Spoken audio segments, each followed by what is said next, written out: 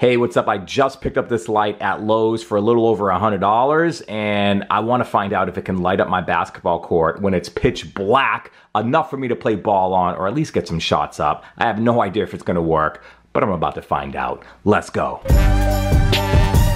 All right, guys, this is the light I picked up. I got it at Lowe's for a little over a $100, and it looks like it's a bright-ass light. I'm just gonna start off by saying that. 7,000 lumens, that sounds like a lot. I don't know what that means, but it sounds like 7,000 light bulbs to me. Uh, and it has a switch, which I can either activate it by motion or switch. I want it to be on a switch so I could just turn it on and off uh, for the basketball court.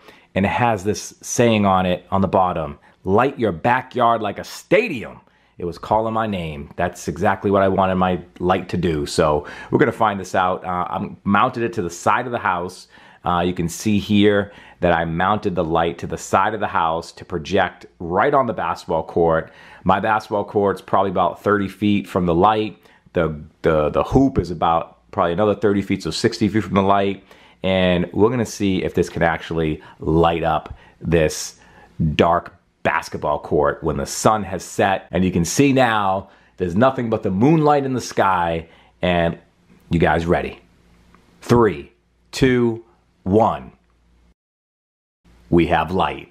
That's not bad. That is not bad. I mean, this is a floodlight, guys. Like, if this was just a floodlight on the side of my house, it would be bright as shit. Like it would light up everything, like the everything walking by. But this I'm using to light up a basketball court, and it does a decent job doing it. Like it's not a full blown uh, stadium light, but it does a pretty good job. Like I could get some shots up out here, and it doesn't do you know a perfect job. The sides are a little bit dim, uh, but as far as me just getting some shots up it, it, it does what I was looking for. It does what I expected it to do. I mean, it's bright, it's big. Here is what the court would look like with the switch off.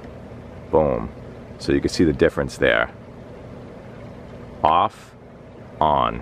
All right, guys, I'm gonna enjoy this light. Hopefully this helped you guys. If you're thinking about buying a bright light and need a bright light, this one might be the one for you. So I'm gonna put the link in the description below. I'll catch you guys in the next video. Peace.